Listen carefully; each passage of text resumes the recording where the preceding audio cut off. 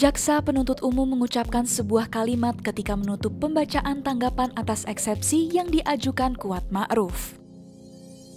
Kalimat tersebut ditujukan kepada seluruh hadirin, khususnya bagi terdakwa Kuat Ma'ruf yang tengah duduk di kursi pesakitan.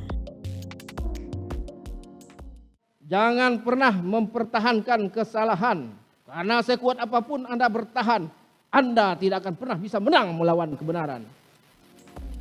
Adapun kalimat itu mengutip perkataan tokoh hakim pengadilan tinggi Amerika Serikat, yaitu Oliver Wendell Holmes Jr. Selain membacakan kalimat tersebut, JPU memohon kepada majelis hakim untuk menjatuhkan putusan sela dengan empat poin yang dimohonkan oleh jaksa.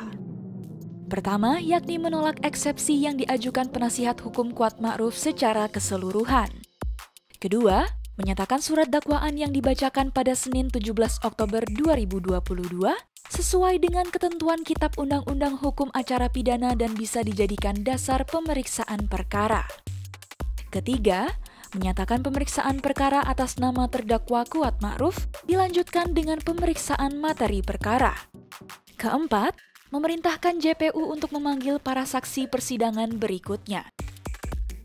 Sebagai informasi, Tim kuasa hukum Kuat Ma'ruf sebelumnya meminta agar kliennya dibebaskan dari segala dakwaan yang dibacakan JPU pada Senin lalu.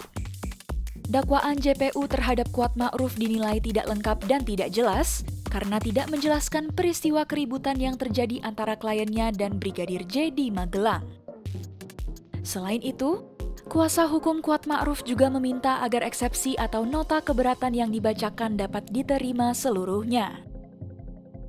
Adapun Kuat Ma'ruf merupakan salah satu tersangka kasus pembunuhan berencana terhadap Brigadir J bersama-sama dengan Ferdi Sambo, Putri Chandrawati, Bribka RR, dan Baradae.